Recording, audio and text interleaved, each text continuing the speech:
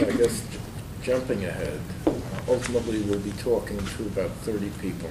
Everything has been recorded, uh, um, both sound and visual. That would be available in uh, the Rutgers sort of historical archive. And then we- we'd like to bring together uh, some of the highlights of these discussions in some visual um, and maybe a small publication that would then be made available at um, J and J or the the New Brunswick Public Library, et cetera. I see. So- so that, uh, And uh, who are some of the people that you've talked to that Sure. I might know back? John Heldrich, Yes. he was the J and J person, vice president, Right. whom Dick Sellars put in charge of New of Brunswick the New Brunswick tomorrow. Um, Three different mayors, um, Pat Sheehan, John Lynch, and the current mayor, James Cahill. We've spoken with Eric Krebs, who was the developer of the Cultural- arts, the- cultural theater. He direct, he's founded some theaters in New Brunswick Mhm. and helped sort of revitalize the, what became the cultural center area. Um, a few Rutgers people, Kenneth Wheeler, who was, who Ed Bloustein, who was then the president, designated as the Rutgers liaison to New Brunswick. Um, Bob Campbell, who was another vice president at J and J, who was also involved in the hospital boards. People Um, involved with um, um, New Brunswick Tomorrow and the New Brunswick Yes. Development Corporation. Previous uh, directors of DEVCO, Mhm. City administrators, Tony Marqueta, whom we just talked to yesterday, was assi- assistant city administrator when the project was being developed. I think the, uh, the only person I clearly recognize, recall is John. John Heldrich. We tried speaking with Leo Molinaro. He was with American Cities Corporation, who developed the first feasibility study for J and J, but I get, his wife has been ill and we haven't been able to see him, but, and Dick Sellars apparently is not well, so she we see. haven't been able to speak with him. And and there are, again, roughly about 10 more people that that are trying to. um, Also, we spoke to. You talk to uh, Jim uh, Burke? No, I, he also is not available. I, I think he has Alzheimer's Oh, and oh, Yeah.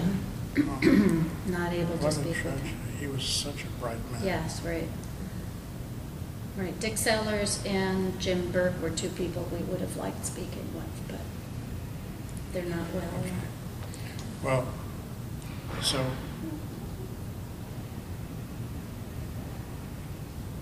if I, if I'm rambling too much, just stop. No, me, no, but- no, this is- But our uh, involvement with uh, New Brunswick began with our engagement by J and J to do a master plan for their new headquarters. Mhm. At that time, Dick Sellars was the chairman. Um, And Dick Sellars was also the mainspring behind New Brunswick Tomorrow, I guess, at that point. Mhm. Yes. And uh, more or less simultaneously with doing the work for J and J, we were asked to do a sort of framework plan for downtown New Brunswick for New Brunswick tomorrow. And of course, uh, we clearly recognized that these were two different clients. But at the same time, the sponsorship of J and J was sort of essential to New Brunswick tomorrow. Mhm. And, uh, and we've been in other situations where we've done corporate headquarters and corporate client has wanted to place, which I think is a very responsible thing to do, to place their headquarters in the context of a larger plan. Um, I think it is a responsible thing to do. It almost always exposes us and the corporate client to suspicion of manipulation. And, you know, the, it's all being, strings are being pulled from the center, so to speak, uh, even though it's a separate enterprise.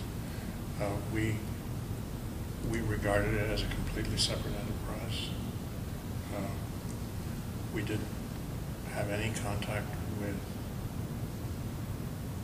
Johnson Johnson with regard to the work for New Brunswick Tomorrow.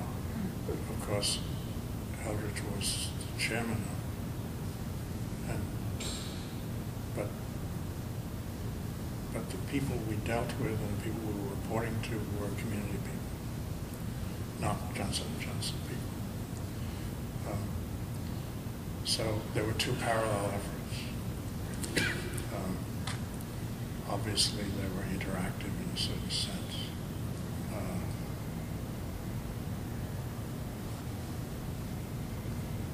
The, uh, the work for New Brunswick Tomorrow was phases. All of this, I'm telling you not from direct recollection, but because I've looked through the files. Uh, We did a first study in the first half of seventy-six, and the second study was done in the first half of seventy-seven.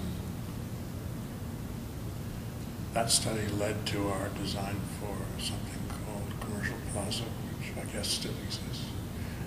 The first building of Commercial Plaza. Mhm. I don't know whether other buildings were subsequently. I don't know what happened to, to George Street in the intervening quarter century, but of course, George Street was intended to be the centerpiece of, of the uh, regeneration of downtown New Brunswick. And as such, uh, we hope to recover a strong retail activity together with commercial, uh, cultural, and so on. Were- I don't know whether there were cultural projects being talked about. I don't know whether any have subsequently happened. Actually, if you'd like, I could give you like a thirty-second. Okay. So Commercial Plaza was the first, and then there was another office building then built next to it. And then for a while, that was a bit of an island with sort of the old, you know, George Street not doing very well as a retail corridor. But over time, that, you know, that changed. You know, The, the, um, um, George Street strengthened, it was retail. Uh, In time, they brought in some, uh, you know, national retailers, um, Radio Shack, uh, et cetera. They, they beautified the area, uh, gas lamps, um, um, planters, uh, et cetera. And then two blocks from Commercial Plaza, in fact, developed a very, very, very strong uh, cultural uh, concentration of three theaters. The old movie theater, the the state... East. Yes, yes, yes. So the State Theater, which had been the vaudeville era, movie theater, um, was, has now a Performing Arts Center. And then there was a George Street Playhouse, again, a a regional, that was in the YMCA, was, was adaptively reused for uh, a theater. There was yet another theater there, and that, and that- and that became very, very, very key. So uh, Commercial Plaza, in fact, was, became an anchor there, and especially as it got linked to the um, uh, performing arts, which then drew in high-end restaurants, et cetera. So I- I just wanted to, Right, Yeah. so it, it did, so with Rutgers at one end and Performing Arts at the other, there is a certain energy in George Street. Yes, And and- the retail did come back to some, extent, not much. Somewhat, we have many more good restaurants than we Really? have any decent retail. What about the housing, Is Hiram? Well, that whole area was completely redeveloped. It was in- in And housing. there are townhouses, condos, and apartments, and that's actually done quite well. It took a while. even but- though it took, it took 20 years of um, really the non-residential development and some of the cultural development. Before, and of course, the world changed. You know, now, you know, downtown housing and mixed use is, people are very comfortable with that and seek that, in fact. it's actually, So that, The timing was even- so some of the old urban renewal cleared land, you're now getting uh, market-priced housing. Uh, Interestingly, they initially tried housing for ownership, thinking that we we would have a more stable uh, group. That was too soon. Then they started building rental, and rental rent- rented up quite quickly, because people were just making a year commitment. And, but, so now there is a, a quite strong housing market. Of course, we're in a challenged real estate climate. But, but, Right. but, but there was, um, the other thing that happened. In addition, Rutgers built buildings downtown. So beyond the State Theater is our building, in fact, the School of Planning and Public Policy. so Rutgers built buildings at the other end of George Street as well. Well, um, it's around the corner, the, at the end of George Street where the State Theater is and the commercial plaza. Between those is now a large conference center hotel. I see. Where there used to be the Roger Williams Hotel, they took that down, the whole block is now a large conference center hotel. And then across the street from them, up Livingston, where we are, we're a block up from George Street. We're School Planning and Public Policy and the Mason Gross School of the Arts from Rutgers share a building. And Rutgers also built a large residence hall right across the street, New Street, from Commercial Plaza. So Oh. a lot more has A lot has happened. happened. Yeah. Well, let me just go back to what we thought we were doing, what we actually did. Uh, um,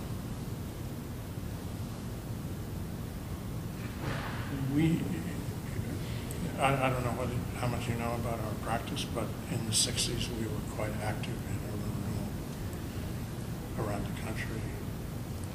Um, Because in the fifties, we had actually our firm began as the architectural division of a real estate company, but now William Zeckendorf Senior's real estate company. And he was one of the first people uh, to recognize the potential of urban renewal and, uh, and got us involved in a number of projects, like, for example, Kips Bay here in New York, Society Hill in Philadelphia, which you may know. And as a result of that experience, when we uh, separated from Reverend Anthony King, Iron Bank Partners, uh, separate firm, because we were one of the few architects who had experience in urban renewal, albeit for a developer, we were engaged by a number of cities to do urban renewal plans. Boston, my hometown, was one, did the government center plan.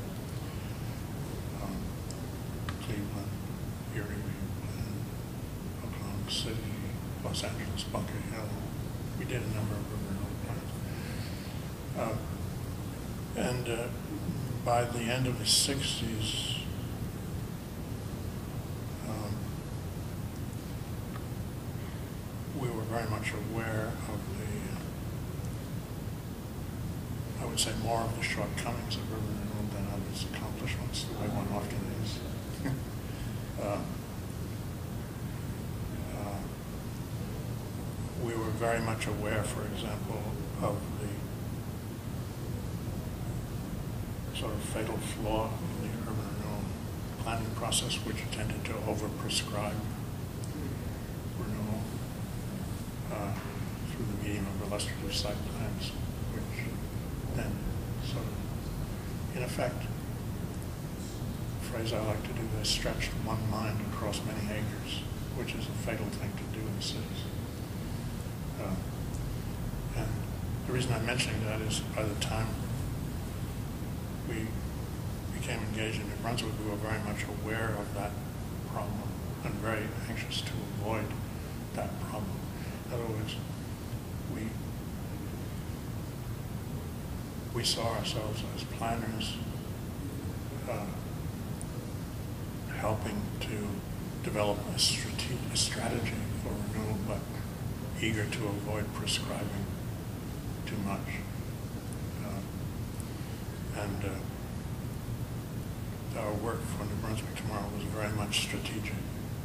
Uh, That's probably why there isn't a great deal of record of it, because it was, I mean, these transparencies which we used in presentations to the community are essentially all I have. Hmm. Uh, And, uh, and, and if you look at them, you'll see that they're all focused on some strategy. The, the framework plan. Um, And uh, so, uh, at the same time, of course, we were doing an architectural design for a major campus for Johnson Johnson, which is sort of the other end of the spectrum of our practice, which did embrace uh, a wide range of building types already at that time, Uh, but also had this planning component.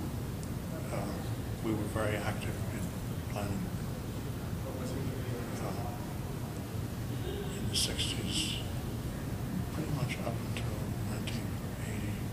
Uh, We haven't, in recent time, been anywhere near as active in, in planning. And one of the reasons, of course, is that uh, the whole,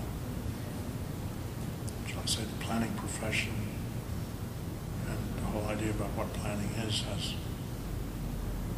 has been in disarray for a long time. Uh, Maybe a healthy disarray, with, of course, a much greater emphasis on local community input and this kind of thing. And that was already, I mean, there was already, because after all, this was the mid-seventies, after Cultural Revolution, in the late sixties, and so, as I mentioned, when I go back through the file, I can al- already find evidence of- in letters of people who were suspicious of us and Johnson Johnson, Mhm. and thinking that we were simply the tools of a corporate initiative. Uh, We took great care, however, to separate the two, so I, um,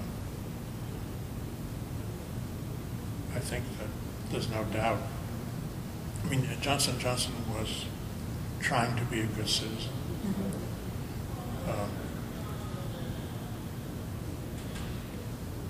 The decision to stay in New Brunswick and expand in New Brunswick was, took, it was very, the subject of a lot of debate within Johnson Johnson. They almost went to the suburbs.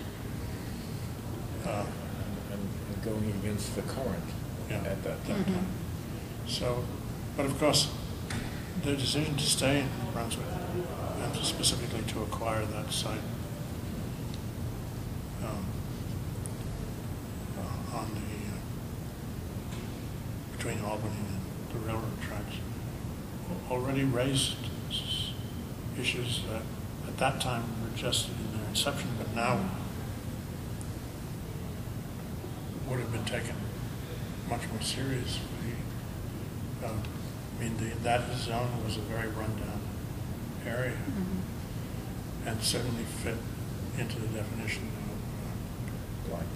of, of, of a candidate for slum clearance, so-called. Right. But it also was the oldest area in New Brunswick and had in it, uh, I still have in my files a letter from Elizabeth Moynihan begging Johnson Johnson to preserve a, uh, a tunnel used by a brewery. I don't know the name of it. It was on that site, an old tavern, and there was some kind of a historic tunnel. Now, today, Huh. uh, I think it was right in the middle of the change of property, so it, was, uh, it, it proved to be impossible. Mm. But today, I think it might have been a deal breaker, that kind of thing, because Mm. so much more attention is being paid to uh, not just visible but invisible historic artifacts. So, Mhm. um, Anyway, we were embarked on this kind of dual assignment. And as it happened, uh, I was the sort of designated partner in charge of both of the and J headquarters and but the staff involvement was quite different, quite separate, but I was the principal responsible for both efforts. Um, And, uh, um, now just a little bit, I don't know whether you know this document, but I've heard of it, I have not seen it. I urge you to, uh, I discovered this somehow. I discovered the original and I made a copy, I don't So the maybe original it's in exists in New the, li- Brunswick. maybe the New Brunswick I'm library. sure it exists. Anyway, the reason, uh, I was totally enchanted with this. The New Because you have to remember, we were coming out of the sixties, out of the era of urban renewal. And suddenly I came across this plan made by a man named Herbert Swan, who was quite a well-known planner in the twenties and thirties. And his approach to planning was exactly what we had in mind. Very Uh-huh. sensitive to, uh, not at all sort of tabula rasa, wipe everything clean, but very much about going in and making uh, very limited surgical Surgical. kind of, and, and- and very much, very civically oriented, very much about the quality of urban space, streetscape, and this kind of thing. So the reason I copied this, and I haven't read it for a good many years, but is that I thought it as kind of a wonderful model, which I hadn't known existed, for how to deal with a city like New Brunswick. Hmm. Um, And uh, I saw, also saw it as an emblem of uh, something, maybe a lesson that uh, my generation failed to learn in our enthusiasm for wiping s- slate clean. Uh, So this actually influenced our thinking. Uh, Now, um,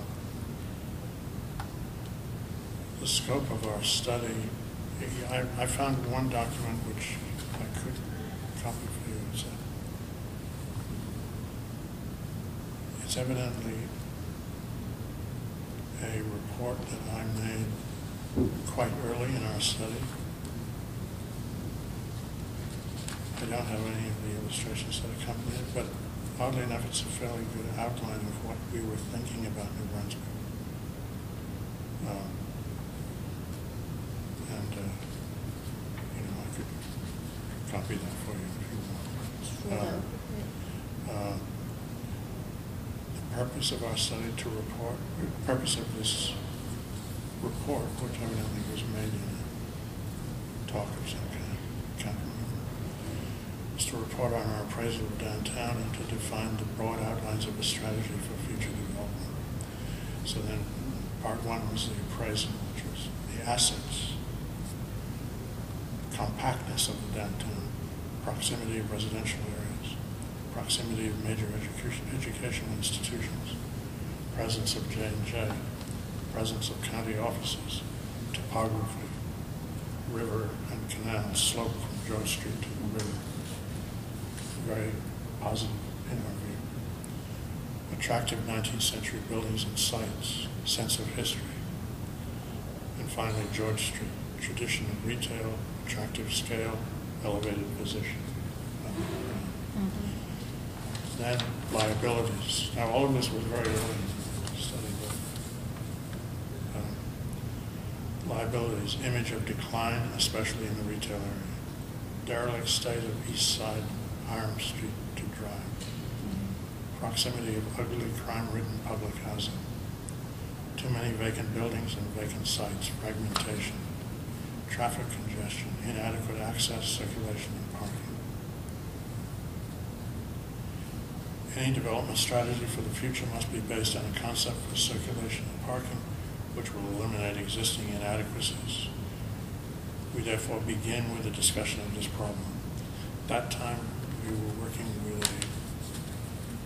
a, a wonderful traffic consultant, actually the best I've ever had the privilege of working with. Unfortunately, he died in the museum, Warren Travers, who was based in Clifton, New Jersey, worked with us for many years. Uh, Terrific traffic consultant. He, he then gave his report. Then I came back and described a development strategy as it was emerging. Based on on the circulation concept, we can now define the desirable character of major streets in the downtown. A, George Street. Retain existing scale, improve conditions for pedestrians, reduce through traffic, strengthen the retail spine. Albany Street, widen, landscape to create a boulevard image.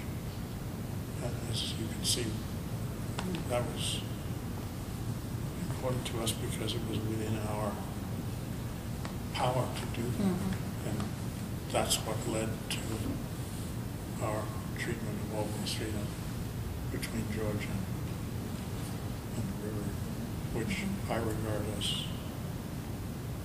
one of the better pieces of urban design that we've done. Um, I hope it's still in good condition. It is. Uh, Livingston, retain and strengthen the boulevard image.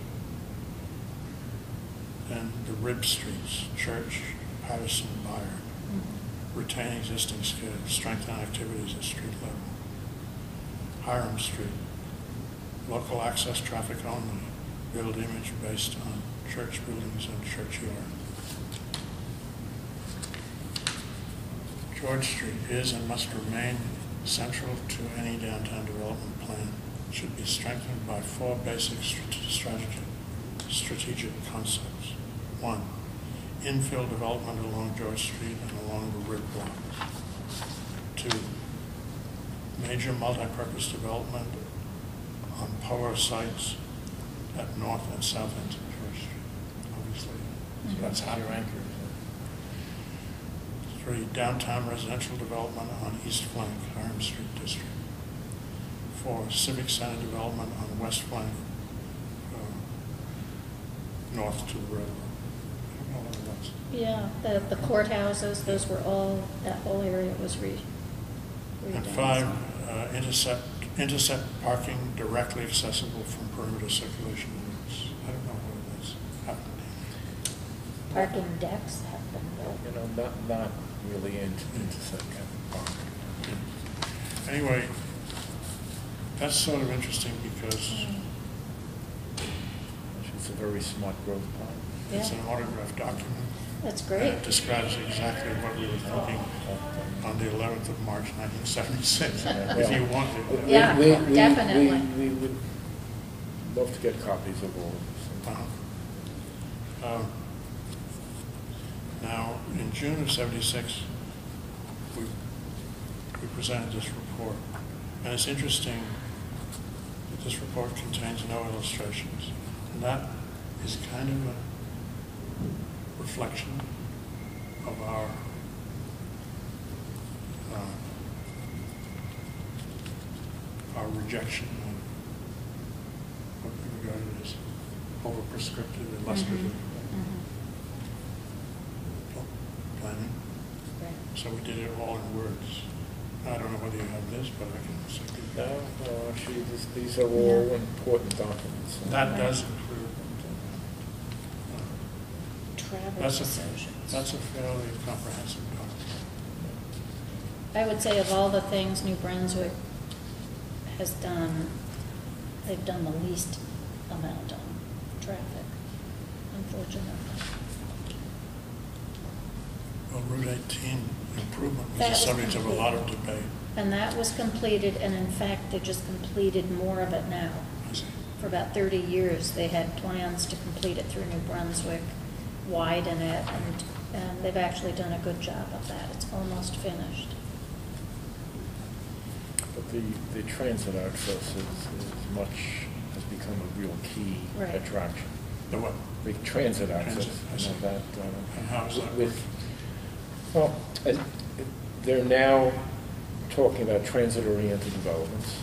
You know, Um, And in fact, the um, non-residential sector in terms of office development in part came about because people recognized being within five minutes of, of a main station on the main line on the east coast, Mhm. train station, was a very attractive place to be. Yeah. But of course, that took, Yeah. that's more within the last ten years that, Yeah. that that's, that's better appreciated. Some people commute to both Philadelphia and New York from across. Um, Yes. Yes, you know, it's well located that way. It's just interesting, College Avenue, finally, there was a, there was, um, work done on closing down College Avenue to make it become a pedestrian mall. It's not complete yet, but, um, some changes are being made now to make it become a much more pedestrian or maybe transit only, bus rapid transit area. So, thirty years later, some of these things are finally happening. Now, uh, I don't know whether you have these documents, but I could also give you Good to you get the all these contractual documents. documents Uh-huh. related to both phases of our work. Sure. Um, Now that I've seen before the New Brunswick tomorrow. Well, there's a- That, do you have that, David? No, 78, I, I, I think we should get copies of, Okay. of of all of They this. must, be- they must exist. Uh, They may, They we may, don't. they may, they may. So I would say if, if we could just pay for this to be copied, that would be, uh, Huh. in- Right. including the, that old nineteen twenties plan. Oh, really? But this, no, you, you you should get the original. It must exist. It Because must. this, it won't copy well, you see. This was not copied well to begin with. I, I would, if we could just pay for, just copying the file. Okay. That, that would be, uh. Oh, here it says personal property, Kathleen Turner, Kathleen. Oakmont, 17 Oakmont Avenue, East Brunswick, New Jersey. Huh. I must have given it back to her. in- And inclu- she Including probably- your, your presentation notes. That- that- That would Right. be, Yeah, well, that, that's sort of, because that's, that- that's, we're not, we're not gonna What get we it anywhere actually else. said. I mean, uh, Yeah. Right. uh, then, I mean, I can't tell you what, but in these days before, we, we didn't like slides because you Mhm. couldn't tell a story with slides. Mm. And we didn't have PowerPoint. Which of course is terrific telling a Mhm. story. So what we did, we tended to, to, to do this sort of thing. We would start with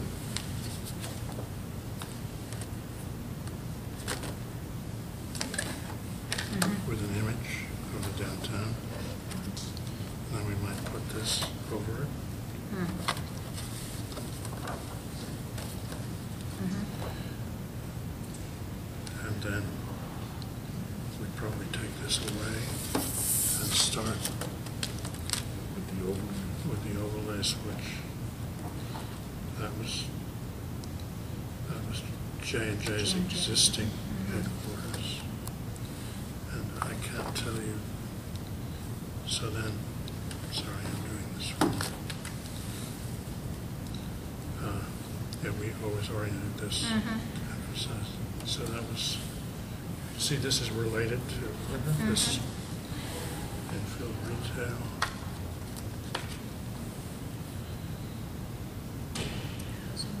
That's co- commercial plaza, Mhm. community center. J and Boulevard Mhm. Hotel, which was Mhm. already being talked about. Mhm. Housing, Mhm. and then Residential, Urban yeah. Center, residential. Now, the cultural center, which is where, It's right here along oh Livingston yes, I Avenue. remember that being, now it's And coming our back. building is right at this corner, I see. the school, and this is where the Heldrich is. That's it. that's a, a large. A large- um, Multi-use building, it's a hotel, it's Conference offices. center, and- and- restaurants and condos. retail. I see. Right, And it was named after John Heldrich. Heldridge. is, yes, that's interesting. Right. How old is John Heldrich now? John is in his later 80s, mid-80s, I guess, 85, 86. No, I don't know. And still very sharp, and we had a nice interview with him It's to really begin a this. shame about Jim Burke. Jim Burke Yeah, was one of the best clients we ever had. He was so sharp, yeah, and uh, it was it's tragic to think that he is also. yeah. And he, he was a very, you know, just to, so, so, school, uh, Dick Sellars, they were very different people. Right. And, and our work for Johnson and Johnson began under Dick Sellars and continued under Mm-hmm. Jim Burke. And Dick Sellars sort of thought of J and J headquarters in monumental terms. He wanted a skyscraper. Originally, that's what he wanted was a skyscraper. Mm-hmm. Uh, We sort of talked him out of that because we, well, there are a whole lot of practical reasons, but also we wanted to engage this property at a scale that seemed sympathetic to downtown Mhm. Brunswick. Mm-hmm. Um, And uh, we didn't want it, I mean, our, the phrase that I use is, it's a building in a park, and a park in the city, so we wanted people to feel that they were passing by a park, not just a corporate headquarters. And I think that Marmy has really grown up amazingly. Mhm. Uh, So, but when Jim Burke came in, his view about an appropriate posture for J and J in New Brunswick was the exact opposite. He actually would have preferred to have no tower. I mean, we have a very slender tower. so Mhm. He, he said to me several times that if he had it to do over, he would have had no tower, but it was, you know, it was a thing. But he was very Just, sympathetic. just more low-rise Yeah. structure. Yeah. Uh, I think the tower actually works as a kind of, without being too dominant. Mm-hmm. Uh, It's kind of, I think it's appropriate to the scale of the city. I hope anyway. But, uh, uh, but he was very, he had, from my point of view, he was a much more sympathetic client than Dick Sellars. That's not for publication. Anyway, he was, Mhm. and he was so smart, so. uh, And very focused, so even though, you know, as a chairman, you don't get to see the chairman very often. But when you Mhm. saw him, he was very focused. Mm-hmm. Um, So this started with the circulation, and this was, I guess, the idea about the, the parking. Mm. The intercept The parking. intercept parking. Of course, this is the J and J parking, which is right. Mm-hmm. Has that happened? I don't think so. Is there parking Where there? is this? You, you really have smalling, smaller parking There's garages. parking over I think, here. you. Yeah. There's parking there. There's the Ferren deck, which is right across from the train station, which would be over here. Um, Well, obviously, we were advocating to Yeah, get I- I people. would- And there's Church Street Park. There's a deck on Church Street, so it's in further. Right, but it's not, the, It's not the, big. the intercept parking No. concept, which is just intercept and then, you Mhm. know, So then, uh, that was- Mhm. I think this might have been the first one, this might have been the second, because Okay. here, this was more Mhm. about tackling. Mhm. In the second, I'll, I'll I'll come back to that. Uh, And the two nodes, this was mixed use, so we did have that idea. Mhm. I think this, that was, what was the idea? So that, those are the ideas that are expressed in Mhm. here. Uh,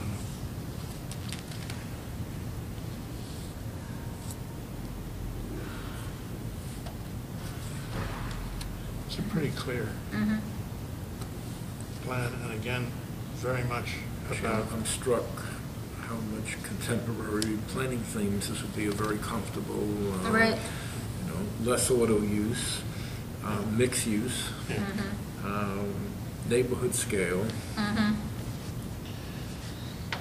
So, and again, we were trying to avoid getting involved with, you know, prescription Oh, you were referring, you were referring to. yeah, so that was, that's why this, and I think this must be the second phase, because here it's more strategic, more of a, and, Mhm. and uh, what we did in the second phase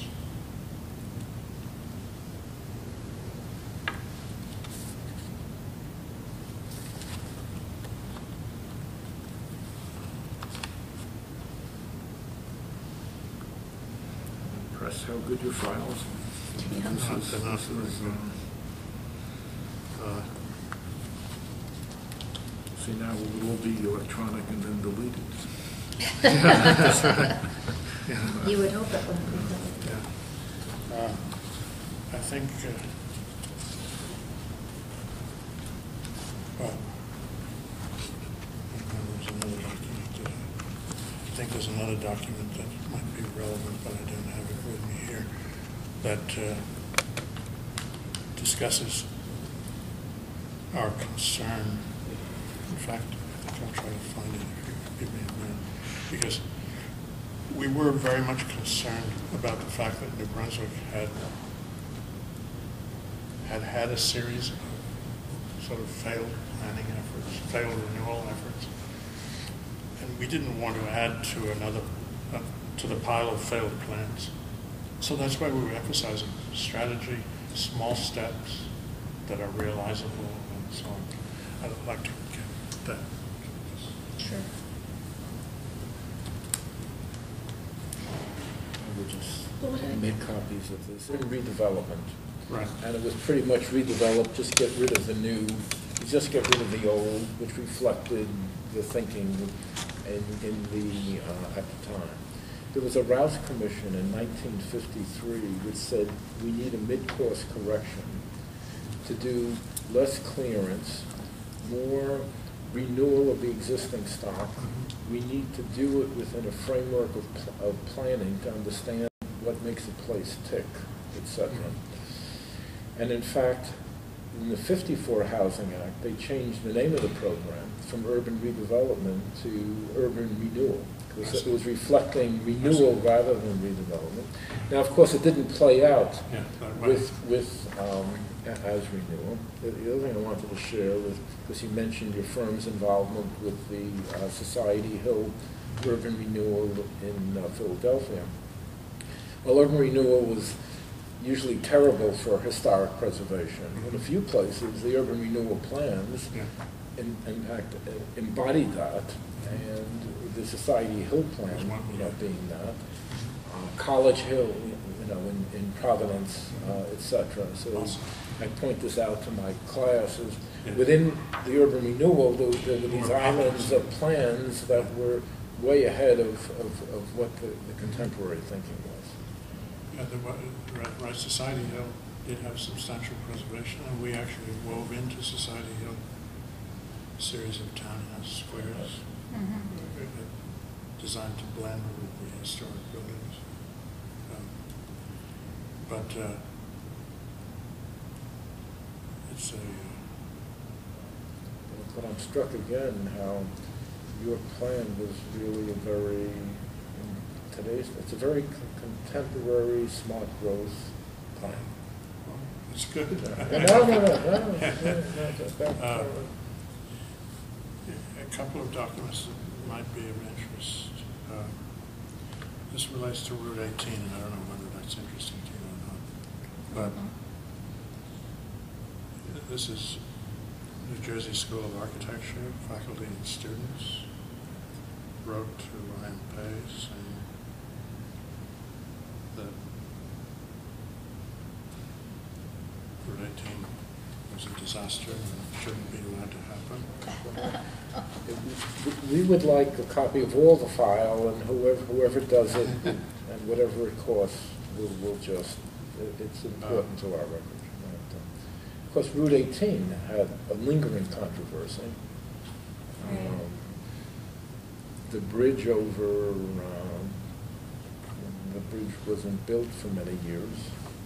I guess was yet another controversy. According to my information, Johnson and Johnson, which practically owns New Brunswick and Middlesex County, is using economic blackmail to force this plan by threatening to move out of the bridges isn't built. Since J and J owns a large facility north of, north on Route 18, a new Raritan Bridge and eventual widening of the highway to their doorstep would make it easier for workers from New Brunswick to get to the plant. Of course, it would also help make citizens of the area and of this state helpless slaves of the automobile. That was- Wow. It's, it's good to be young. Yeah. Hmm. Th- th- There, there was, you know, there, there was similar reaction by, um, by Rutgers link groups, Mhm. so. So, and this, I don't know whether this is of interest to you. that This is evidently a A- thesis. a- Absolutely, for Hiram Market, yes. It's a, it's a MIT student thesis. Does that interest? Yeah, I would be, On Hiram, on the Hiram Market Development? oh, really? Well, it's a student, student thesis at MIT. Hmm. Yeah, no, I think, um, Hiram Market was a very controversial, and in fact, in the end, they demolished, you know, what was there. I think it was viewed as, it was right next to the hotel that was built, and um, the, you know, th- that was one of the sort of black eyes, so to speak. I see. Yeah, yeah, that, that, within, within a larger context of could more of the existing stock have been uh, preserved? I'm not sure if it's an urban legend. They said when, when Rockefeller was considering um, uh, what a potential sites, with the ultimate winner being uh, Williamsburg, you know, looking for where was there a concentration of, uh, of, of an older housing stock. Um, Supposedly, New Brunswick was not on the short list, but was on the initial longer list. Oh, you know, really? of it- What would be fifty or hundred communities in, the- in which we would consider Mhm. this? Mhm. Well, so I don't know why I can't find a particular document I was looking for. But, uh, uh, it was a memorandum in which we expressed concern about New Brunswick. I'll try to find it. So, which we, we were expressing concern about uh,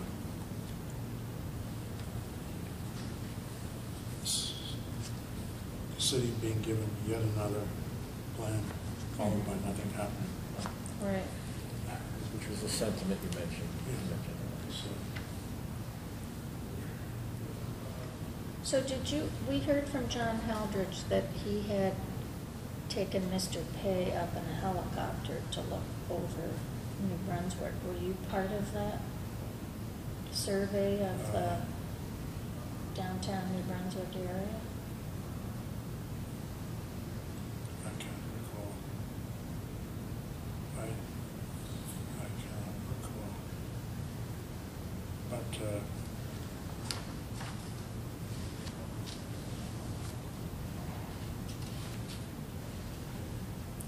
So it was further to that with, with uh, Mr. Pavin saying this is where the, you know, we should have cultural facilities, this is, I see. uh, I mean, with, with much of that then happening, you know, being realized. uh, I see.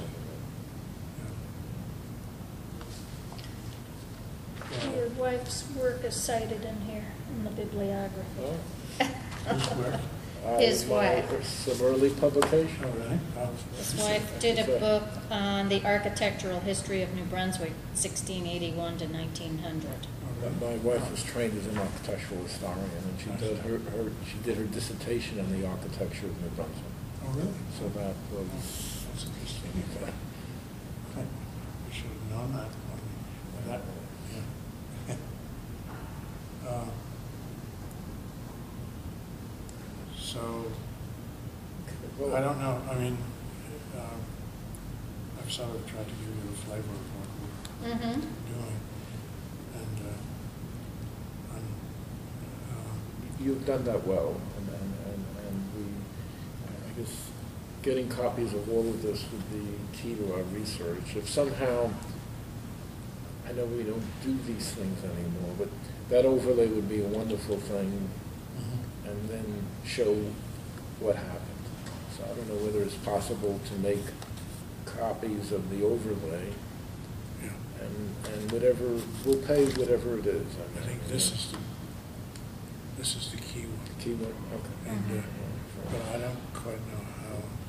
We we don't know ourselves. Uh, uh,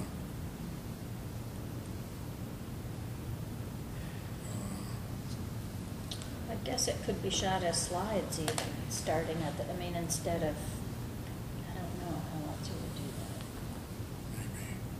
that. Would you be interested in seeing, I believe, this is sort of the plan, and now if we then Show what showed happened. what happened, would that be of Yeah, interest, interest to you? no, because I'm talking, I mean, it's literally been thirty years almost. Right. I mean, we did our work in seventy-six, seventy-seven. Of course, we continued to work on, the J and J headquarters wasn't finished until I think, eighty-three. Okay. But, uh,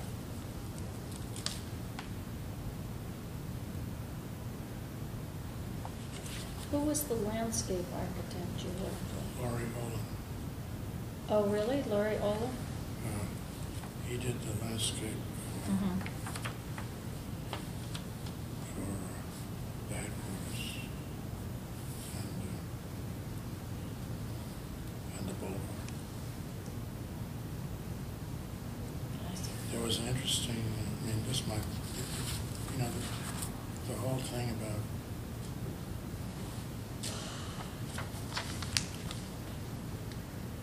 Johnson Johnson's presence and what kind of a presence it should have. There was a debate. Some people who thought that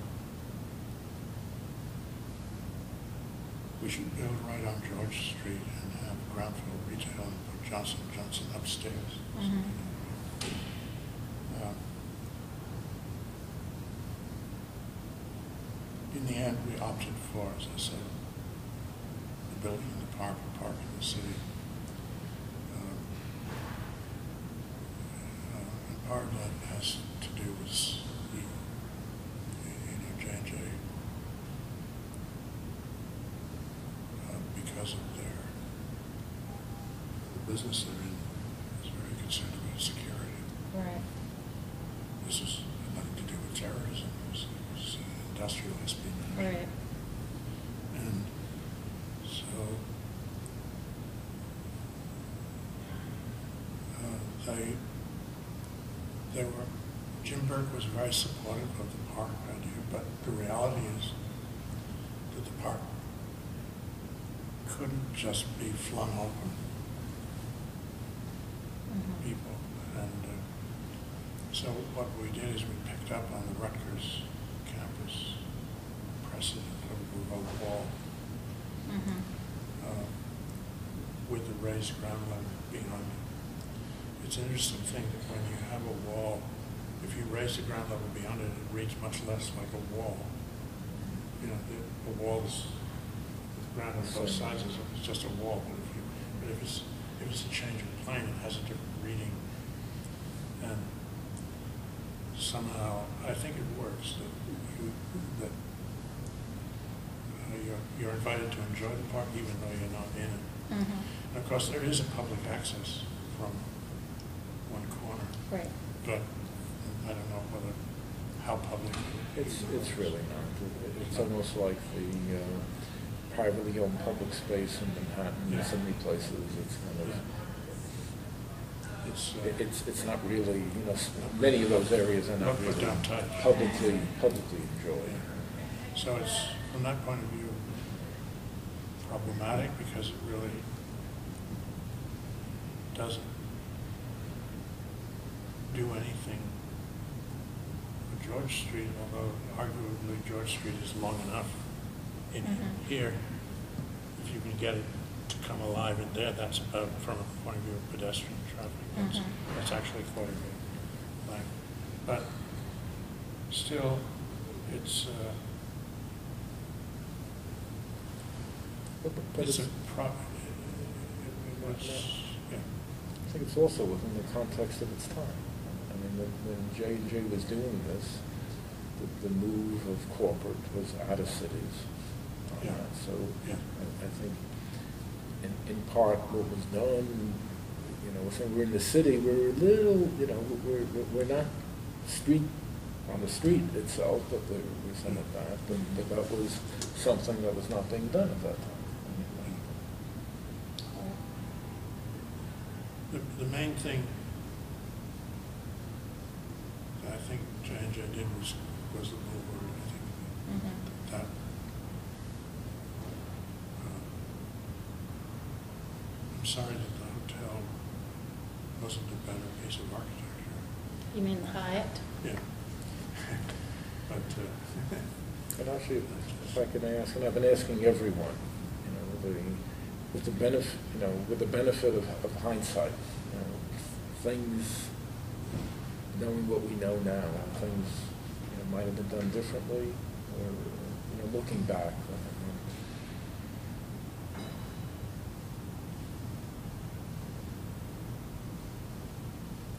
I don't think that, I, I, first of all,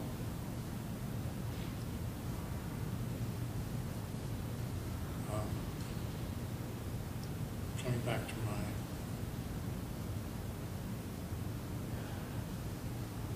to, to the attitude that we brought to this uh, Brunswick plan, which was an attitude of trying to avoid over-prescribing and trying to make it very strategic.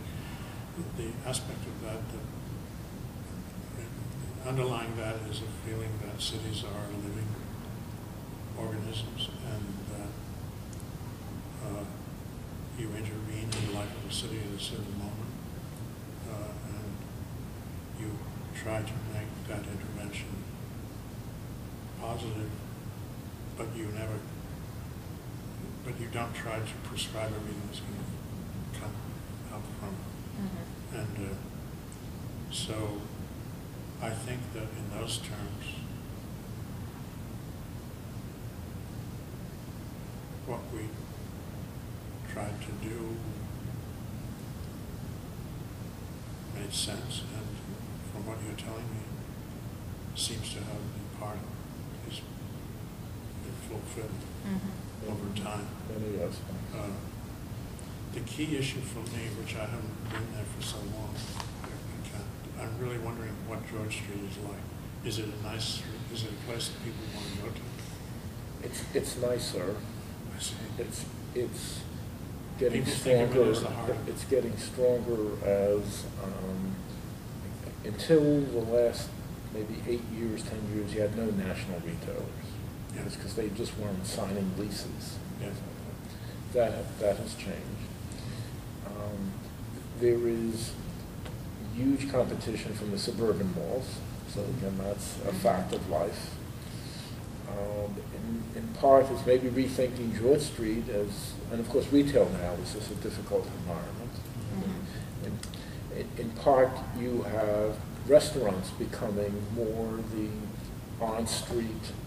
Draw people in from the region, um, unique offering, rather than another store doing X, Y, and Z, which is replicated Mhm. five times over now, you know. Are there nowadays. things like art galleries? Um, not, no. No. There is an art gallery in our building that's part of the Mason Gross School of the Arts. And the Zimmerli Museum, of course, has expanded tremendously over the past few years. And that's almost, that's catty corner from the J and J. It's on George Street past the railroad. I see. So those exist, but other galleries. And, and- and the city did, you know, as far as within what planners do to revitalize an area, so there's a business improvement district, you know, that does Yeah. promotion, okay. They widened the sidewalk.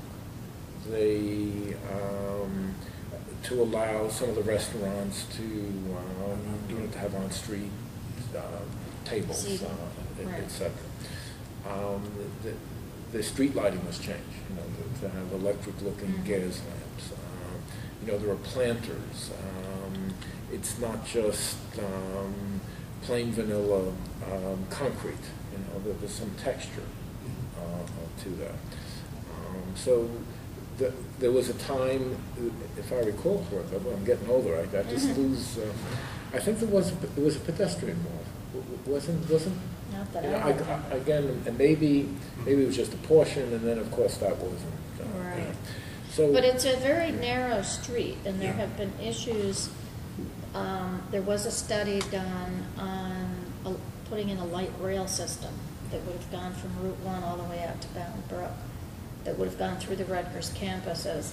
But the issue was, what do you do with George Street, because it's so narrow? And there's also now a bicycle Right. path work going on, and George Street is too small, so they're looking at Neilson Street, which is the next street down. But whenever you get, then, then you get to J and J, Yeah, and you you have to go- go around it, or you have to go under the railroad trestle. So that's been a bit of an issue. You know, George Street is still where most of the businesses and restaurants are, although there are some off on other streets. Um, But because it's so narrow, it has transportation issues in it. There's no longer any parking allowed on it, fortunately. Because when there was parking allowed, th- there was hardly any way to get through there. But it's two ways. Yes, Two it's ways. two ways. And some of the old bank buildings have become other things, you know, those still exist. you know, adaptively reused. Right. Um, And there's some chains that came in, like Starbucks, and there's a Chipotle going into an old, an old pharmacy building, those kinds of things. But it's still, you know, there's a dollar store. The Woolworth became a dollar store or something like that, so there's some not, not so desirable things. And, and things take a long time. I Right. think In terms of redevelopment, you know, really, it just takes decades. I mean, it took, it took three decades of non-residential before the uh, housing market Right, Exactly. o- o- opened up. Right. I mean, that, um, But this area is healthy now? yeah, it This- seems to be.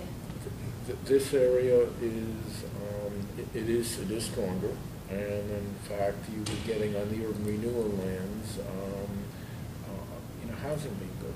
Uh, Interestingly, often suburban developers who were thwarted by NIMBYism, you know, it was just hard to get anything approved anymore. They could come to New Brunswick and then with a cooperative city government and in place, you know, a DevCo that could do various things. They could be approved for, you know, thousands of units in three months, etc. So the, the developers rethought New Brunswick as, as, as a market. So that, um, in part, there were outside forces that weren't per se, uh, um, New Brunswick. At the very end of the Hiram District, there is a street that retained the old original buildings. And there's a wonderful, I don't know if it's a five-star restaurant, the Frog and the Peach Restaurant Mhm. was put in down there. uh, Which is, at which end? Way down near the, closer to the water. Oh, way Down, here. I see. down here, I see. behind the Hyatt I see. Hotel. Um, And there's, and also, there are two restaurants, they're, they're very In- good. And there's a ex- lot of In nightlife down existing, there. older, s- interesting structures. Right. Mhm. Brick. That's And- good. And at, at the time, the city was fighting, they wanted to get rid of these because they Right. wanted to clear it. Yeah. Again, this is twenty twenty hindsight. And then they were very tenacious and were able to stay. Right. And in fact, those are the new a- anchors, you know, it's, it's Mhm. culture. You know, what, what does a city like New Brunswick offer to a region? You know, it's really, retail's hard, retail's hard. And then it's gonna take a lot more residential to provide the on-site mar- market to, uh, to, but the culture became a regional draw, and then the restaurants linked to that. Mhm. Um, And the university must still be a regional community. Yeah, right. And it has grown. I mean, there are more students now than before. Do the students use downtown? More now than they did because there are buildings downtown. Yes. And so there's actually they go now, Back and forth. right, and So double, Rutgers has a presence down yes, here. Yes. right. That's actually Even useful. even though it took a while, and for a Right. while, Rutgers was sort of just staying where it was. Yeah. And where they did some construction, I guess in the um, sixties, it was on non, they were going away from the Brunswick. Mhm. Your institute is here, but you Right. don't, you don't do teaching here. Yes, You do in that building. graduate, graduate That's- classes, right. And we share a building with um, Ma- the Mason Gross School, which is our, um, you know, with the training artists, et cetera. So what you have there are interesting-looking students, you know, with purple hair, but they're there at all hours. So it Right. kind of gives a, you know, an arty, um, urban flavor in, in a good way, in a good way. And the residence hall is a block away, But, but that's recent. you know, it's right, within- only within- two or three years. wi- wi- with- Within the last, Right. um, uh, And what- what about the leadership in New Brunswick? Does New Brunswick tomorrow still exist? Yes. Yes. It does. And so does DevCo, the, the Development Corporation. And uh, both exist, both have been viewed, at least by some, as a model, you know, that uh, also reflecting you need both the social and the development, you know, which is sort the New Brunswick Tomorrow and DevCo. Um, DevCo has become a very successful development entity, and they become more, more and more sophisticated, uh, being able It's a to. public benefit corporation. It's a, DevCo is a public benefit corporation. Is it- It's, it quasi-public? qu- qu- you know, it's, Quasi-public. yes, yes, I mean. um, It's separate from New Brunswick tomorrow? Yes. Yes. Yes. It does the physical Yeah. building, planning and building part. And They NBT bring had, developers in as partners? Yes. Oh, yes, yes. and, and, you know, getting as much public money as possible to, you know, match with whatever projects are doing.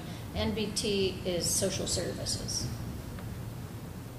NBT started, I think, as sort of both, and then DevCo broke out I see. and became the developer. And then over time, they became, as they started to do bigger and bigger projects, they became more and more sophisticated.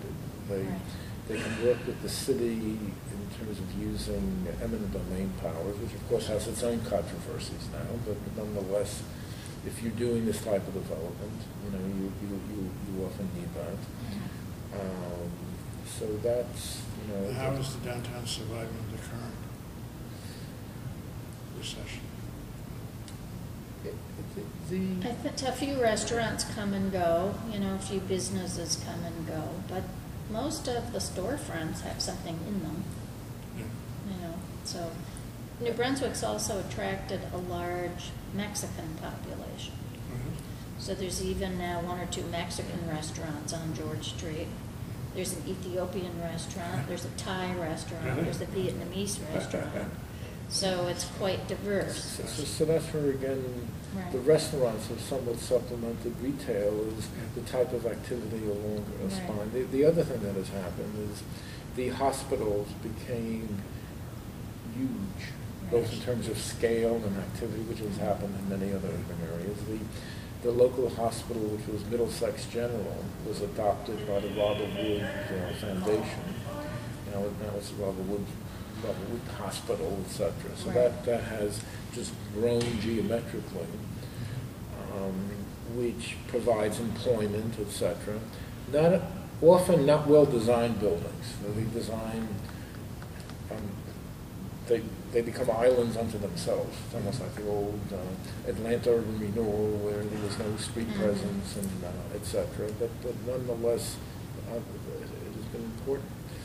Uh, We will share with you, because again, what I want to do is almost use some of your, your initial, your your initial concepts slides with, with things today. What ha- what's We happened have to today. Share, share with you. Yeah. Well, I'll try to get, I'm not quite sure how I'll do this, but I'll try to get you, uh, well, is it important to have the sequence or just the totality? Um, the sequence is, wh- wh- whatever, Whatever whatever works works. for you. you know, I mean, If we can only do the totality, that's okay, but if we could get the sequence. I mean, e- e- even if it was done separately and then with the totality, it's, wh- wh- whatever works, Mhm. whatever works. Uh, Okay. So I just- And, yeah, and we can keep in touch with Ann, I guess, and if she could let us know what, I mean, we're happy to pay you for the full We- we- cost of the we- cop, we- we- full cost of the copies. This is and an important file in terms of what happened, so if we could just everything's- have it copied and And we can come and pick it up? pick it up, you know, we can, we can make whatever, whatever works Yeah. best for you. Okay. Well, uh, yeah. You're not in a big rush. No, No. no, but Because it whatever, probably will be. done. whatever, whatever works for you. Yeah, no big rush. Okay. Um, We've been at this since last June doing interviews, and it could go on yet another year Yes. before we, It's also a chain of interviews, you know, we, don't- yeah. uh,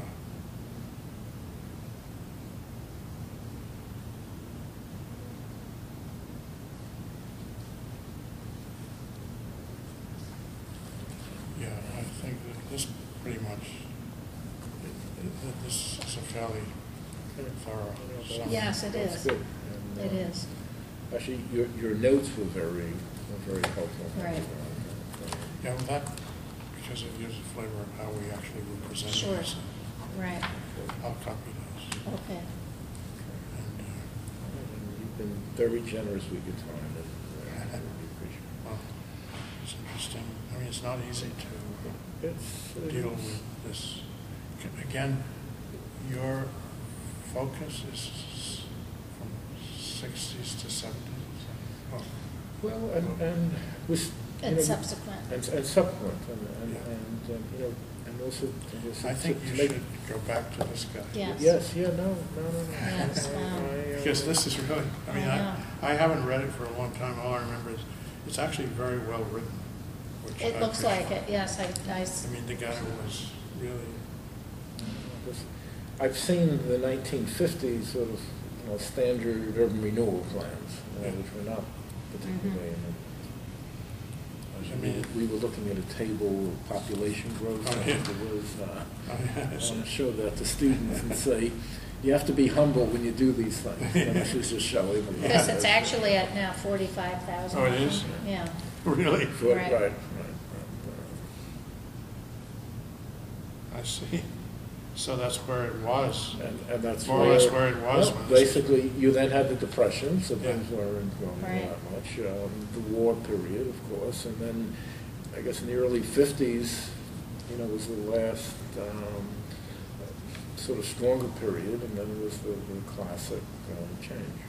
I mean, the thing I like about it is the sort of tone of voice, like cost of traffic congestion. Because so many people writing, you know, planning is so often bureaucratese. And this guy Mhm. says, did you ever stop to think how much street congestion costs in Brunswick? I mean, it's a No, no, no, no. conversational Right. tone. No, that's- right. that's it. Only a few years ago, there was no such thing as a traffic cop. Today, the patrolman engaged in regulating traffic constitute a large part of the police force in many cities, and so on. It pulls you in. right. pulls in. It's, uh, And his company was in Clifton? No, I'm this sorry, is- that, this is that was the Herbert traffic Swan. guy. I don't know Swan. where, but Herbert The other one Swan was Clifton. is a guy,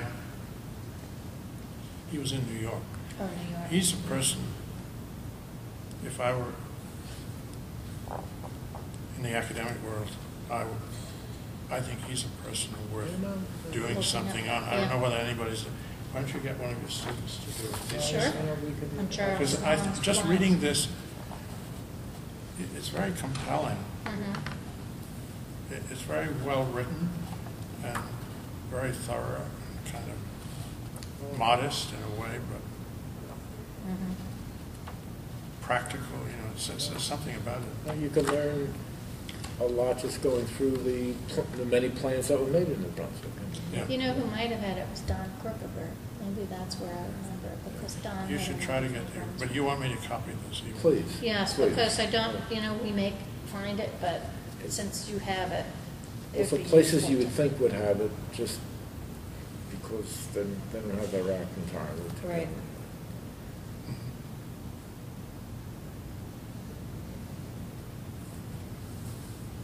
Okay.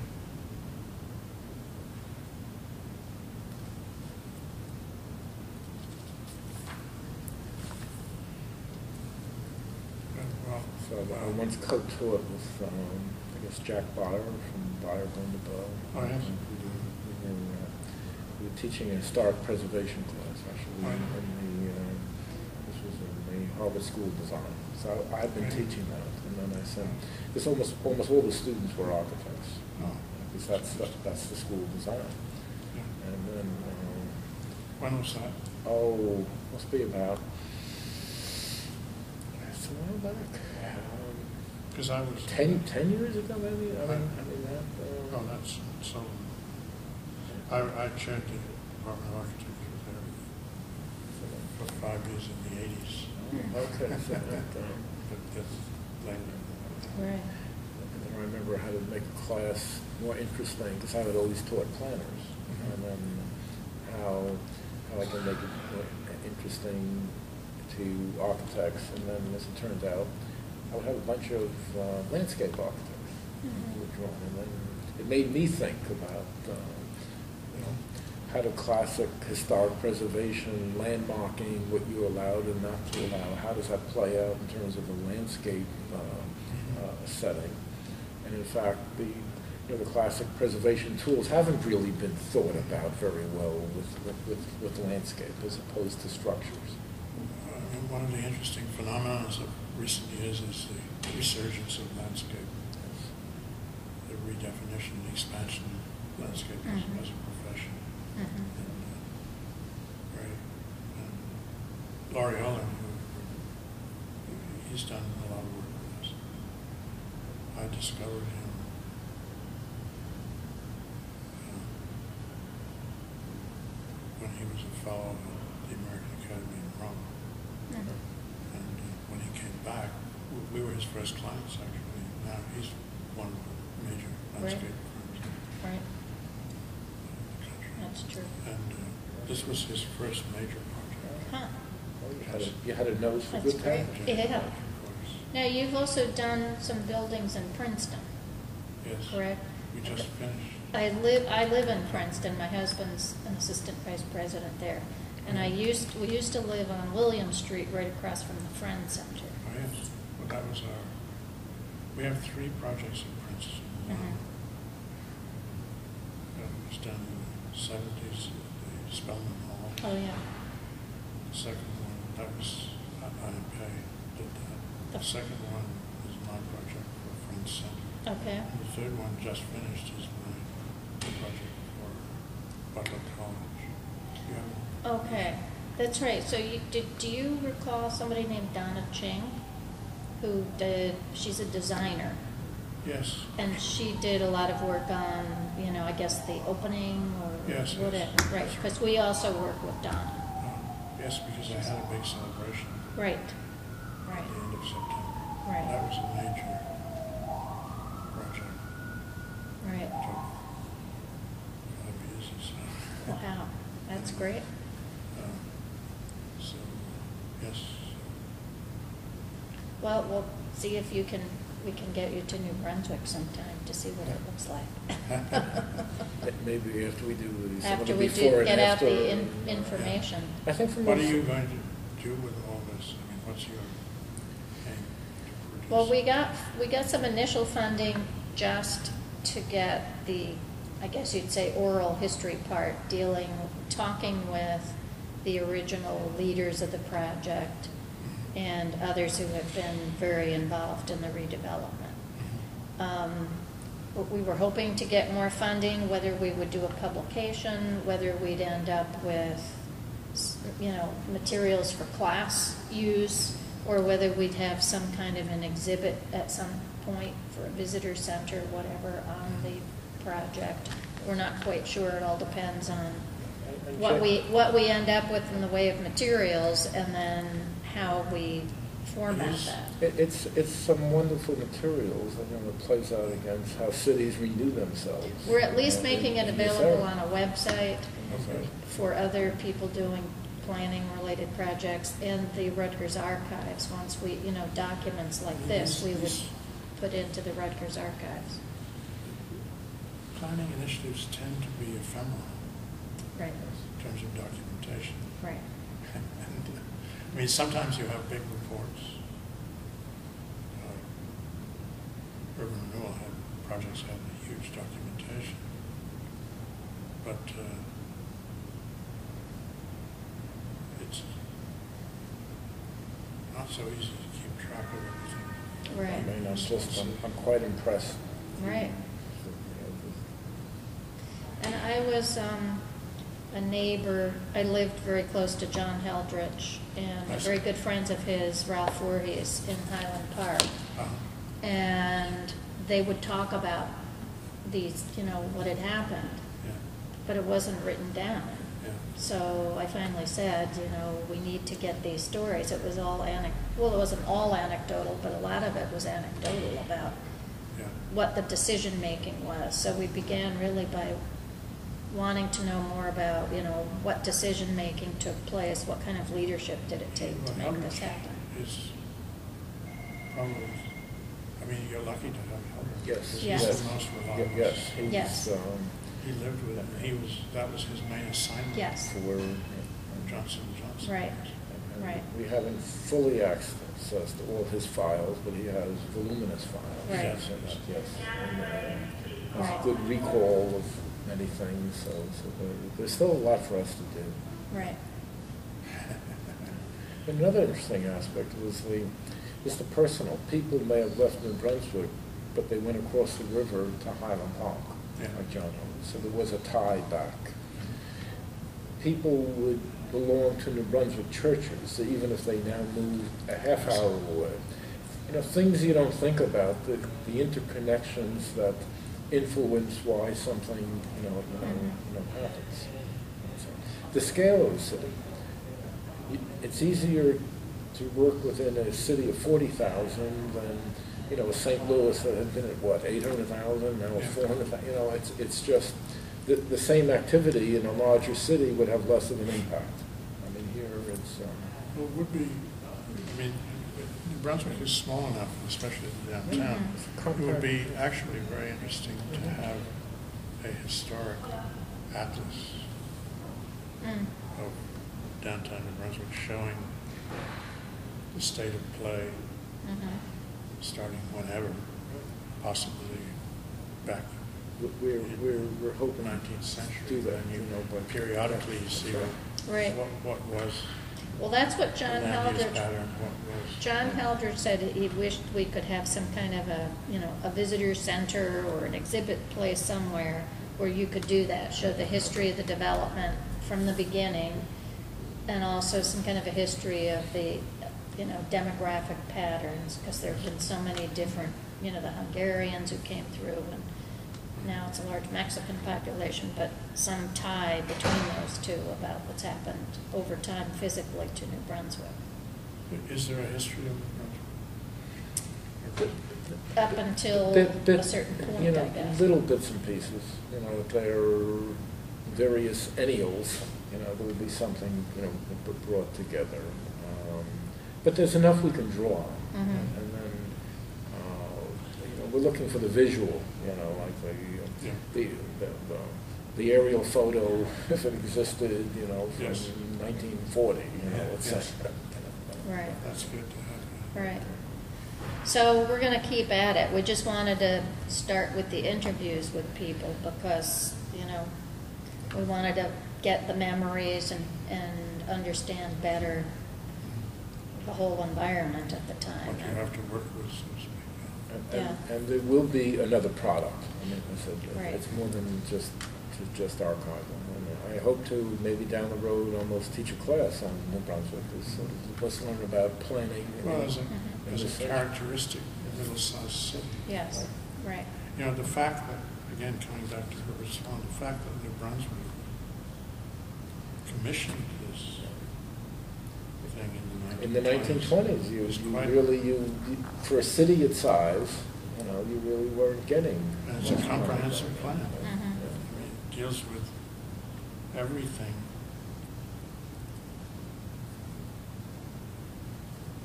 In a kind of. I wonder what happened, what the, whoever it was that asked for this, whether it was the then mayor or whatever, if they did any, Well, remember, this is, Changes. this is twenty-five, and then, and then the depression hit, so, Right. so you were figuring how to survive, and then the war hit. Right. And then it was nineteen fifty. Right. And that- they only had a little, bit of you know, a little for few years. Right. And then, and then you had big forces going on. Right, Yeah, yeah, it was probably, everybody forgot about it. could be. But the As is twenties, often. but, but the idea that this kind of planning was happening, that's Yeah. why, I, I, I should Google this guy and see if there's anything on him. I- Because I, I- I'm very, uh,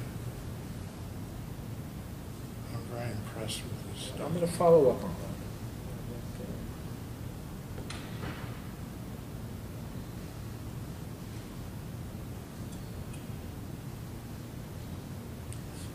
Part of working away, maybe Burnham's making no small plans anyway, you gotta make Yeah, smaller strategic plans. Yes. That- That's what. That's I'm- right, yes. That's what I'm Wasn't that about the time the American Planning Association started, in the nineteen twenties? so there was a city planning commission. Yeah, okay. Which was ahead of its time. right. Okay, well, Well, I thank- will. uh, thank you very much. Undertake to And copy you've this. Been, you've been most generous with your time and Yes. uh, your insights. Interesting topic. It's been out of my head for quite a few years. No, but it's interesting to no, get no, to. no. Um, Gave us a,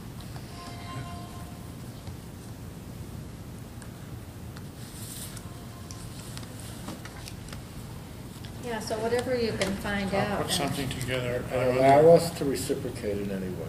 Right. Anything you can, uh, if you're in New Jersey and you need stuff on X, Y, and Z, be happy, please, uh, please let us know. okay.